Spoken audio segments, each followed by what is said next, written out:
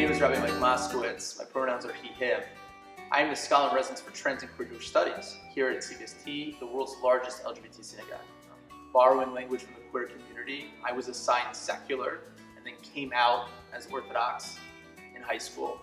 Went on a ripping trajectory for about 20 years and now identify as some version of religiously nonconforming. I've always seen myself as somebody who's open-minded, curious, looking to make sense of the world, especially all of the pain and suffering, try to give it meaning and purpose. It was that open-mindedness that allowed me to explore orthodoxy in high school and to really be willing to transition out of a secular existence into one of, uh, of a religious identity. It's that same open-mindedness, curiosity, and commitment to uncover and to discover the divine will that 20 years later brought me to this place. I, like many who are involved in advocacy and allyship, had their beginning because it is personal. For me, there's somebody in my family who transitioned, and it was the first time ever I had thought about gender since I was a kid and told which bathroom to use. This book is meant as more of a resource, not necessarily to be read cover to cover. It's organized both by topic and topics and also through the calendar year.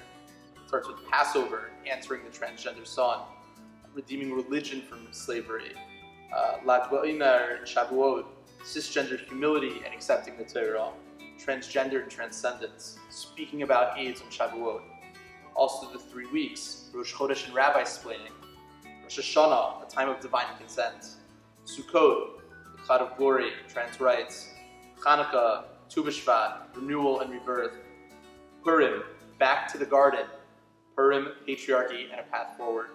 I am a boy and these are my clothes. Allyship is spiritual practice. Noah's Ark, a failed allyship.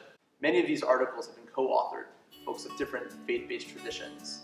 My favorite is around climate change and the way in which faith-based communities come together after the storm, but do very little to prevent it.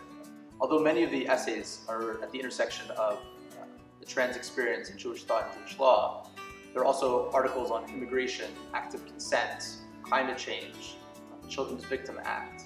Some are in BaptistNews.com, others are in Out.com. There's something here for everybody uh, because these truths are eternal.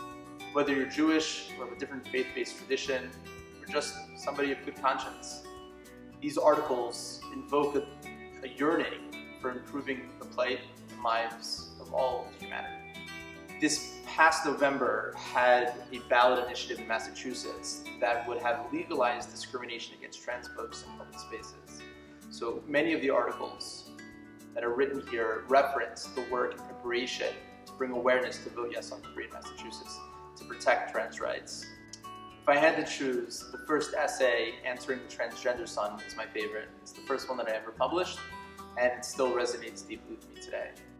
This book is available on Amazon. It's a great bar bat mitzvah or b'nai mitzvah gift. Please pick up a copy for your synagogue, your rabbi, for your summer camp, for your university.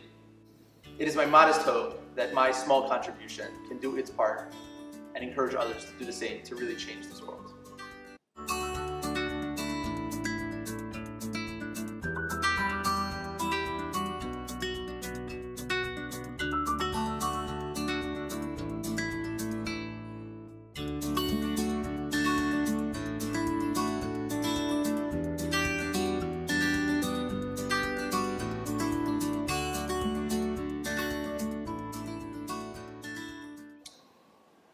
Do do do do do do do do do do